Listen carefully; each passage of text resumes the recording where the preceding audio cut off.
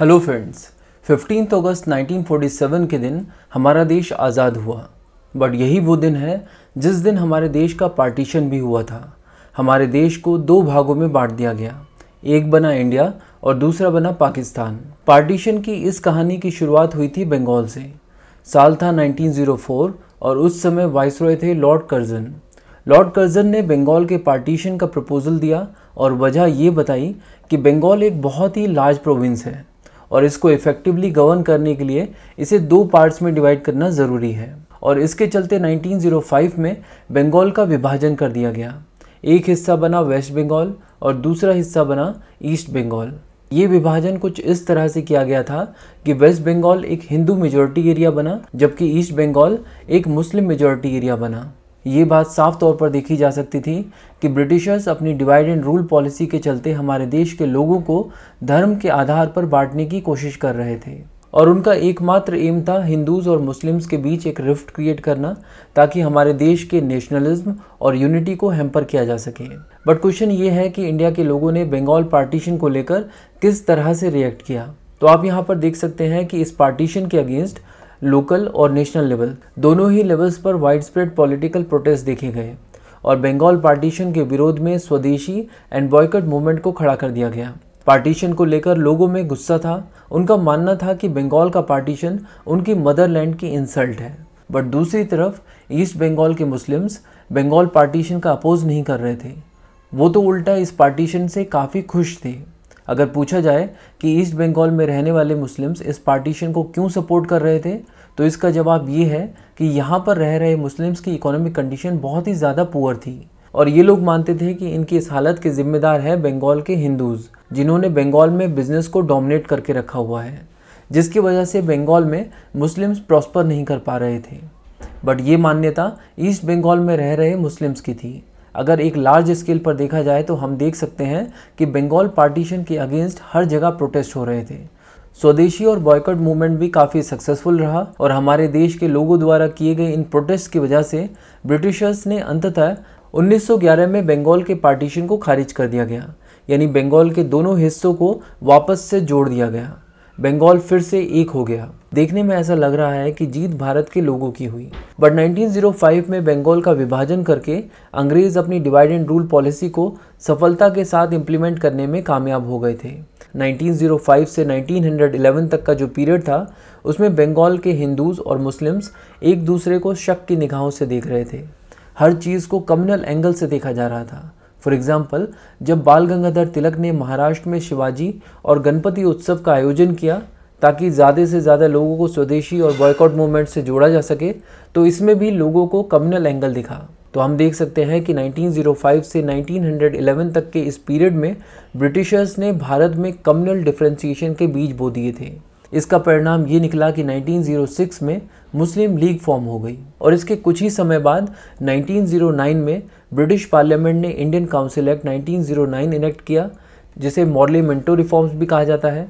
इस एक्ट के द्वारा इंडिया में पहली बार सेपरेट इलेक्टोरेट को इंट्रोड्यूस किया गया था, जिसने मुस्लिम लीग की ग्रोथ में एक बहुत ही अहम भूमिका निभाई।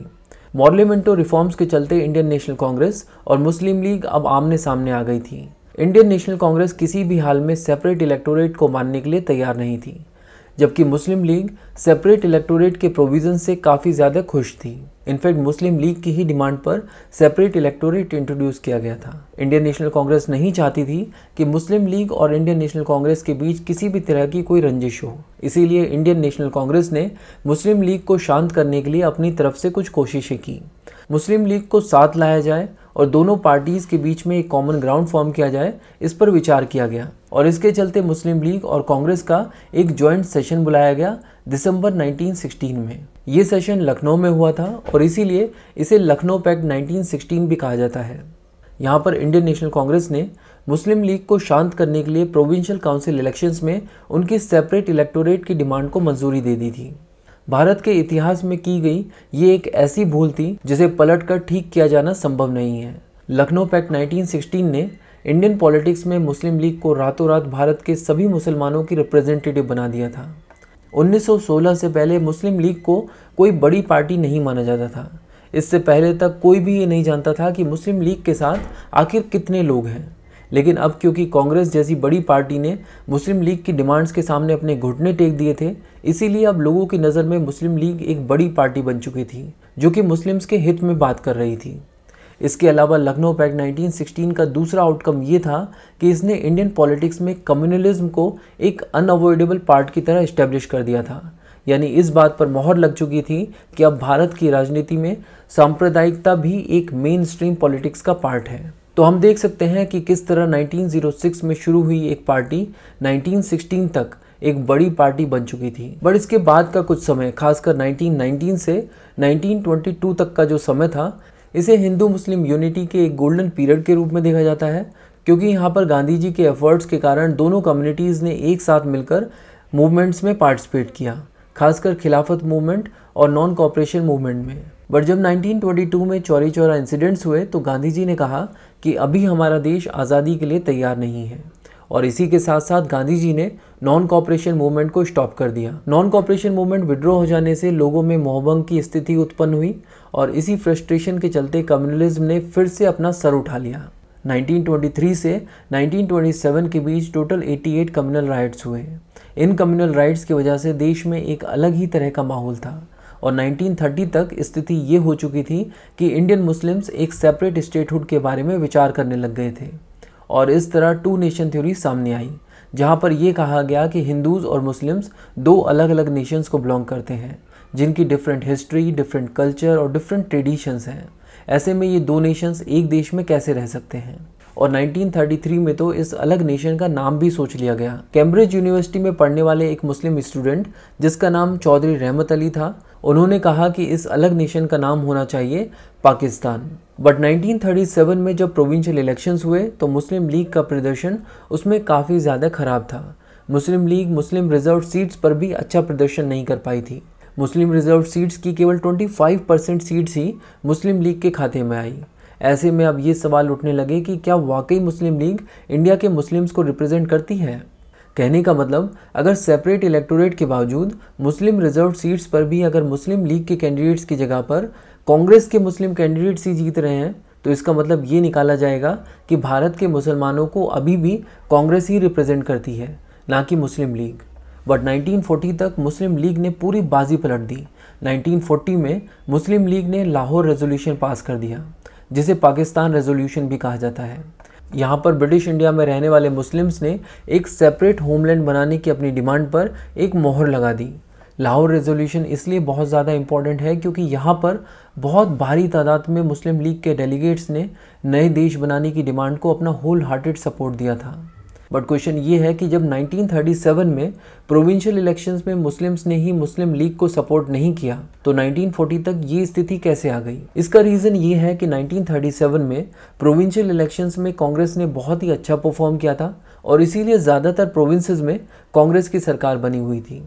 और कांग्रेस जब इन प्रोविंसेस में सरकार चला रही थी तो उस समय को मुस्लिम लीग ने बहुत ही अच्छे से यूटिलाइज़ किया। मुस्लिम लीग इंडिया में रहने वाले मुस्लिम्स को ये कन्विंस करने में कामयाब रही कि कांग्रेस के राज में उनका कुछ भी भला नहीं हो रहा है। और इसका परिणाम ये निकला कि 1945-1946 में फिर से जब इलेक्शंस हुए तो यहाँ पर मुस्लिम लीग ने मुस्लिम सीट्स पर बहुत ही बेहतरीन प्रदर्शन किया। सेंट्रल लेजिस्लेटिव असेंबली में जितनी भी मुस्लिम रिज़र्व सीट थी, सारी की सारी सीट्स मुस्लिम लीग के खाते में गई। इसके अलावा मुस्लिम्स के लिए रिज़र्व प्रोविंशियल सीट्स पर भी मुस्लिम लीग ने काफ़ी अच्छा प्रदर्शन किया था। तो अब 1945 आते आते ये स्थिति हो गई थी कि ये कहने में किसी को भी कोई दिक्कत नहीं थी कि मुस्लिम लीग ही मुस्लिम्स की असली रिप्रेजेंटेटिव है। क्योंकि मुस्लिम लीग ने 1945-46 के इलेक्शंस में ये प्रूव कर दिया था। हालाँकि इन्हीं इलेक्शंस में जनरल इलेक्टोरेट सीट्स में ज़्यादा सक्सेसफुल कांग्रेस थी। बट क्योंकि कांग्रेस मुस्लिम रिज़र्व सीट्स में उतना अच्छा परफॉर्म नहीं कर पाई थी तो इसीलिए कांग्रेस ये दावा नहीं कर सकती थी कि कांग्रेस इंडिया के हिंदूज और मुस्लिम्स दोनों की रिप्रेजेंटेटिव है। और अब इस सिचुएशन में ब्रिटिशर्स इंडिया को पावर ट्रांसफ़र करने की तैयारी कर रहे थे। ऐसे में उन्होंने एक के बाद एक कई सारे प्रपोजल्स पेश किए। For example Cripps mission Wavell plan और cabinet mission plan but power transfer सिर्फ़ तभी हो सकती थी जब मुस्लिम लीग और इंडियन नेशनल कांग्रेस दोनों इन प्रपोजल्स पर एग्री करें। बट दोनों पार्टीज़ किसी भी प्लान पर एग्री होने के लिए तैयार नहीं हो पाई और सिचुएशन पूरी तरह से आमने सामने की हो चुकी थी। किसी भी तरह का कोई भी कॉम्प्रोमाइज़ निकालना मुश्किल हो गया था। और ऐसी सिचुएशन में मुस्लिम लीग ने 16 अगस्त 1946 का दिन चुना डायरेक्ट एक्शन डे के लिए। ये वो दिन था जिस दिन बहुत ही लार्ज स्केल पर हमारे देश में कम्युनल राइट्स देखने को मिले। ब्रिटिशर्स ने इन कम्युनल राइट्स को जैसे तैसे रोका और पावर ट्रांसफ़र के लिए लॉर्ड माउंटबेटन को इंडिया में भेजा और कहा कि अब किसी भी हाल में जून 1948 तक इंडियन नेशनल कांग्रेस और मुस्लिम लीग के बीच में एक समझौता करके पावर को ट्रांसफ़र किया जाना चाहिए। तो ऐसे में भारत में आने के बाद लॉर्ड माउंटबेटन ने एक प्लान प्रिपेयर किया। इस प्लान को कहा गया माउंटबेटन प्लान। इस प्लान में ब्रिटिश इंडिया का पार्टीशन करके दो सोवरेन देश बनाने की बात की गई, इंडिया और पाकिस्तान। कांग्रेस और मुस्लिम लीग दोनों ने ही इस प्लान को मंजूरी दे दी और इस तरह 15 अगस्त 1947 को देश का बंटवारा कर दिया गया। इंडिया की हिस्ट्री और इंडियन कॉन्स्टिट्यूशन को डिटेल में कवर करने के लिए बुक्स तवा की प्लेलिस्ट को फॉलो कीजिए। Thank you so much for watching and supporting books Tawa